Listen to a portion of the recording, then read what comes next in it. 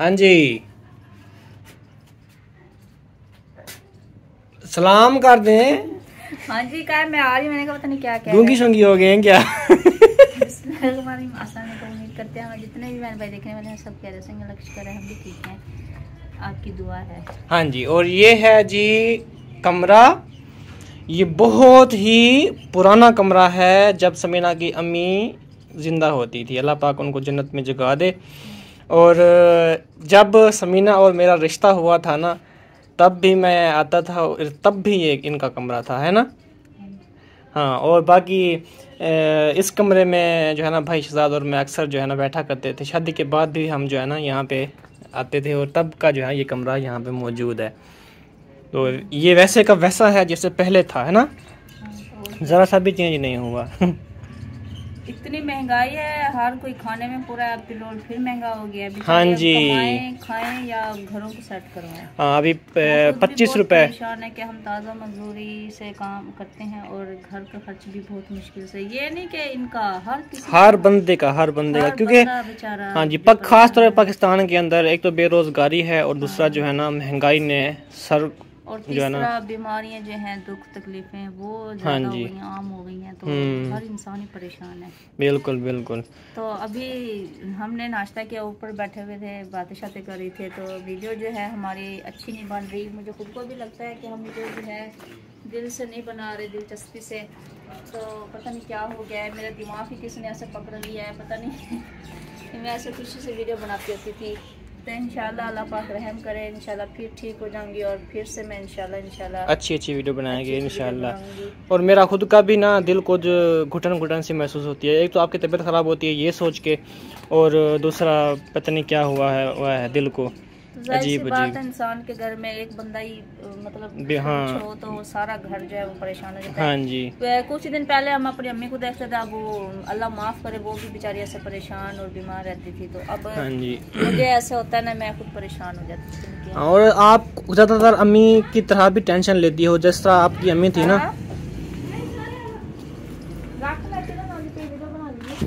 हाँ। अस्सलाम वालेकुम जी कैसे हैं? ठीक ठाक मैं ठीक ठाक हूँ कि अल्लाह के फजल करम से हम भी ठीक हैं और दुआ है देखने वाला जहाँ भी रहें खुश रहें आबाद रहें हँसते रहें मुस्कुराते रहें ठीक आज का भी लोग करते हैं स्टार्ट और बातें हो रही थी हमारी इसकी अम्मी की तो इसकी अम्मी को भी ना कैंसर था आपकी अम्मी को?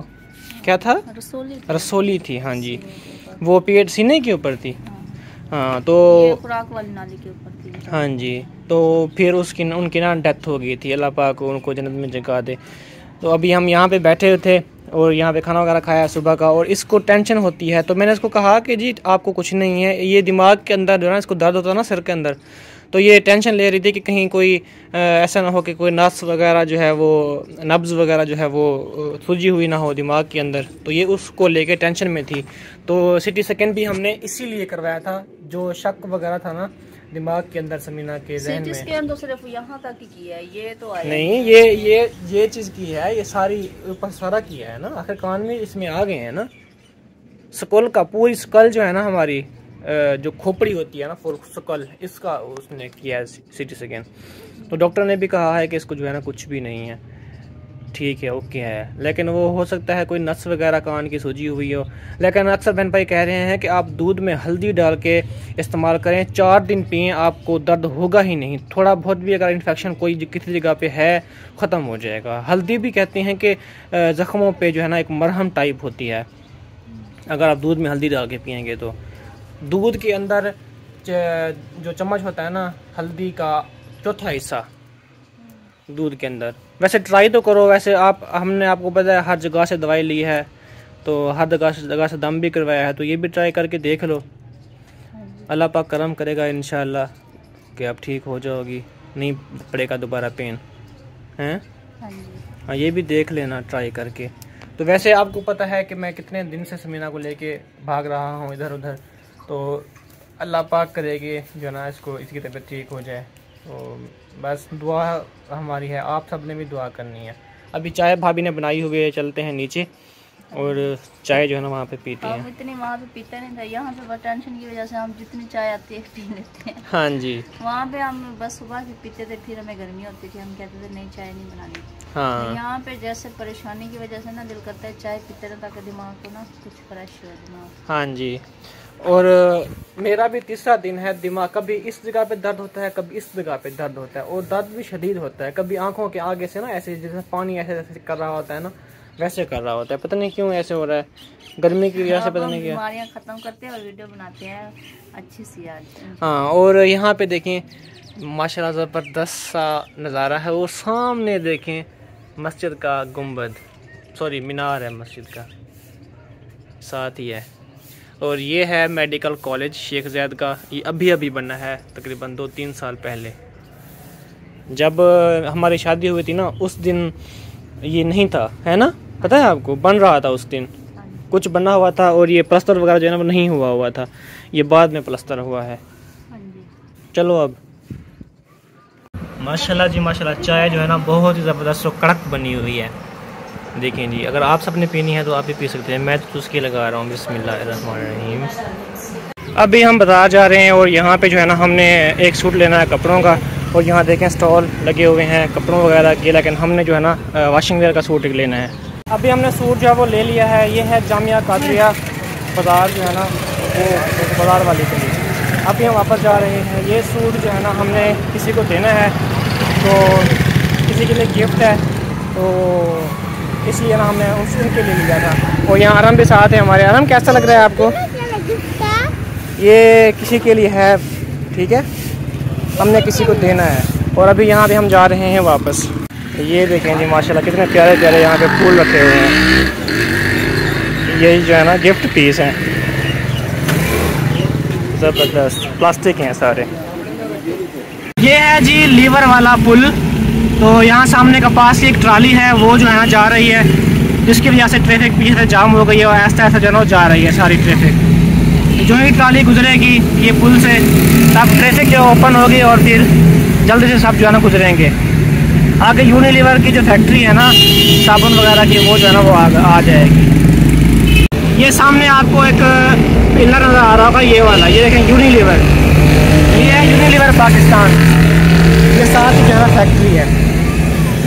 ये वाली। ये। अभी जहाँ यहाँ पे केले पड़े हुए थे अंकल जी बैठे हुए थे मैंने कहा चले इनसे जो ना केले लेते हैं दो दर्जन। बहुत शुक्रिया अंकल जी। तो यहाँ पे जो है ना माशाल्लाह इनके पास ये अच्छे वाले हैं। थोड़े से हल्के जो है ना ये हैं। मैंने इनको कहा कि चले इनमें से दो दर्जन हमें दे दें। बच्चे क्योंकि खा लेंगे ये केले। ये बहुत शुक्रिया अंकल जी खुश रहें हमेशा। अभी अल्हम्दुलिल्लाह हमने दवाई वगैरह सब कुछ जो है ना वो ले लिया है टेस्ट वगैरह सब कुछ क्लियर हो चुके हैं समीना के अब इससे पूछते हैं कि इसको कोई वहम शहम तो नहीं है ना? क्योंकि वहम का इलाज नहीं है बाकी हर चीज़ का इलाज है। अगर आपको वहम है अभी भी तो आप वो अपने जहन से निकाल दो। अल्हम्दुलिल्लाह आपको कुछ भी नहीं है ठीक है? टेंशन फ्री हो जाओ आप। आई समझ। तो परेशानी लेकिन। चलें, अभी जो है ना हम तैयारी कर रहे हैं, हम वापस जाने की, जो भी हमारा इधर कपड़े वगैरह, सामान वगैरह जो भी पड़ा हुआ है, वो जो है ना हम अब इकट्ठे का, इकट्ठा कर रहे हैं। तो यहाँ अरहम के कपड़े थे कुछ, और कुछ मेरे भी थे। मेरा एक सूट था ना? मेरे दो सूट थे, एक मैंने ये ब्लैक वाला पहना हुआ है, एक दूसरा जो है ना वो इस कपड़ों में होगा, या फिर उधर बाथरूम में होगा। नहीं, बल्कि मेरे मेरे तीन सूट थे। एक मैं पैंट शर्ट पहन के आया था, फिर मैंने एक पहना था, अब मैं ब्लैक मैंने पहना हुआ है। तो पैंट शर्ट भी मेरी उठाना ठीक है? वो बैठक में पड़ी हुई है। तो यहाँ अरहम के कपड़े वगैरह जो है ना ये मेरी शर्ट है हाँ। इसके साथ पैंट जो है ना अभी आपने उठानी है। और ये मेरा सूट था ये वाला जो मैंने ये एप्पल ग्रीन पहना हुआ है कल पहना हुआ था। बाकी सारे कपड़े जो है ना वो रेडी हैं। ये ये तो अरहम का नहीं है। ये मेरे ख्याल में वो अब्दुल्ला का है ना? हाँ हाँ ये बाहर रख दो। हाँ? किसकी? कमीज मैंने वहाँ बाथरूम में हाँ, खड़ी की थी।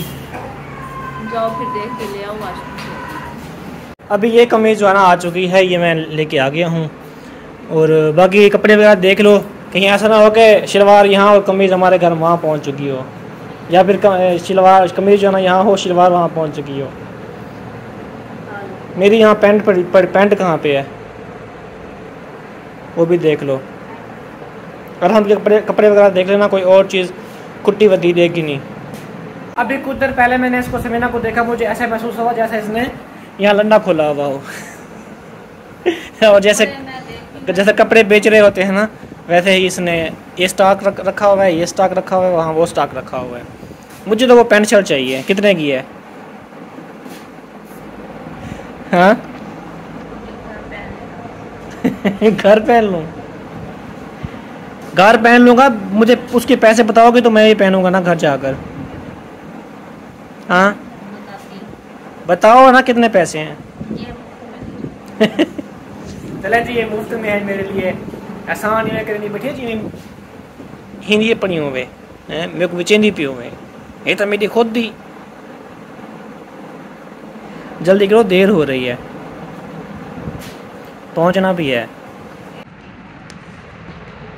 अभी भाभी ने और भाई ने कहा कि जी आप दोपहर का खाना वो खा के जाएँ हमारे यहाँ पे तो बाद में जो है ना आप चले जाइएगा तो हमने कहा चलो, ठीक है। वैसे भी तो तीन चार दिन है, हो गए हैं, यहाँ पे रह रहे हैं और खा भी रहे हैं।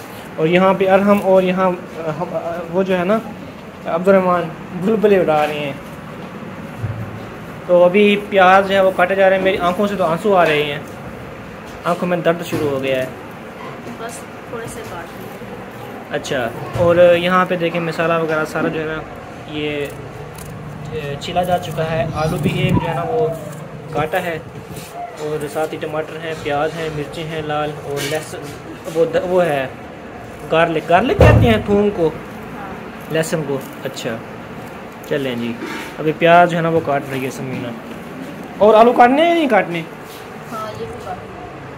पूछ लो भाभी से अगर कहे तो फिर काटना। काटने ये ये तीनों काटने हैं। दोनों दो ये हैं और एक वो पड़ा है छिलका छिला हुआ। हाँ जी हम उड़ाओ। वे वे इसको ना बड़ा शौक होता है इन बुलबुले उड़ाने का। भाई ये बिल्ला यहाँ पे सो रहा है देखिए आँखें कितना जल रही हैं इसकी लाल लाल आँखें। ओए होए होए होए ये देखें। समीना ये देखो। जल रही है ना? ऐसा लग रहा है जैसे ज़िंदा हो ये। अभी प्याज जो है ना काफ़ी सारे काट काट लिए हैं। अभी क्या बना रहे हैं? अच्छा। तो माशाल्लाह चावल हमारे जो है ना बन रहे हैं। अभी सब मसाला वगैरह सब काटा जा रहा है।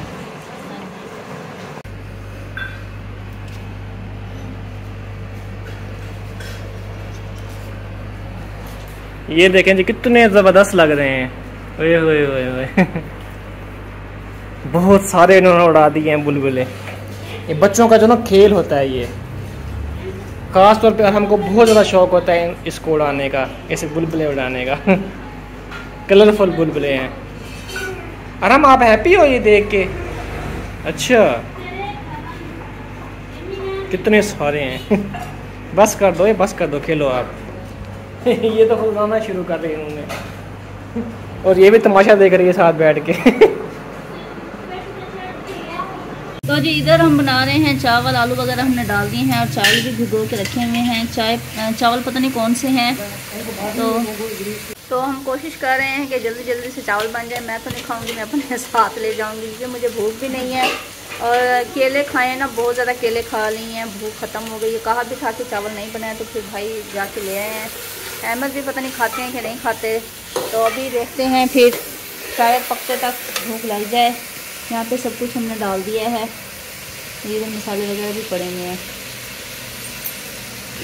तो गैस क्योंकि अभी आया है, दो बजे आता है, एक एक डेढ़ बजे आता है, फिर अभी चला जाएगा मेरे ख्याल में, एक दो घंटे पता नहीं रहता है।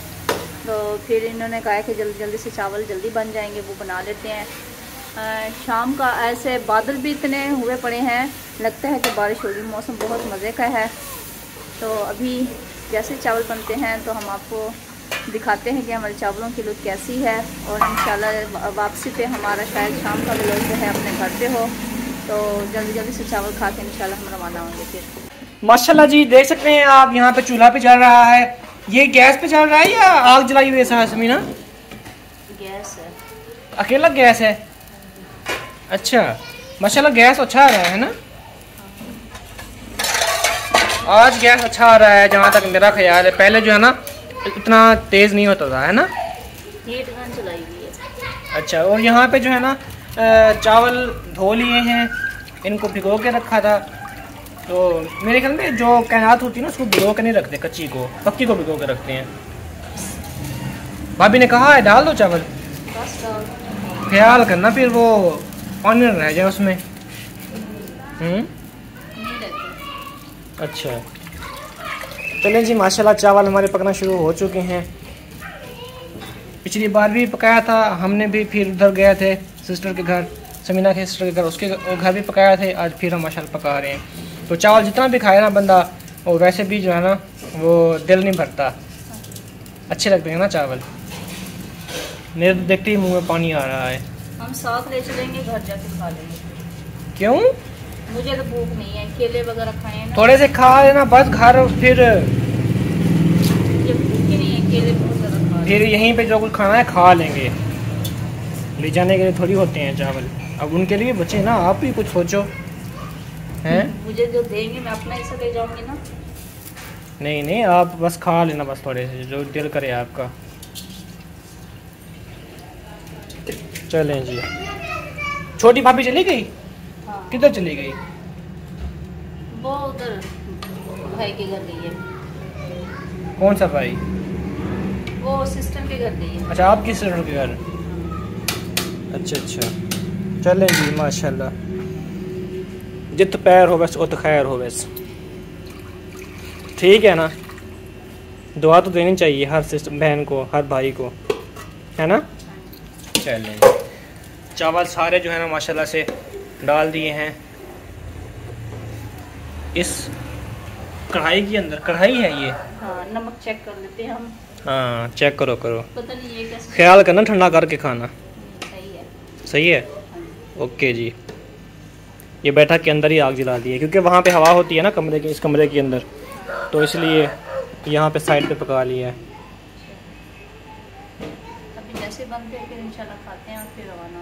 हैं।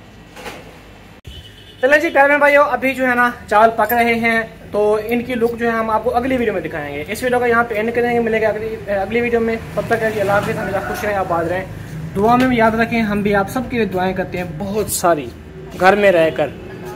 अल्लाह हाफिज़ जी।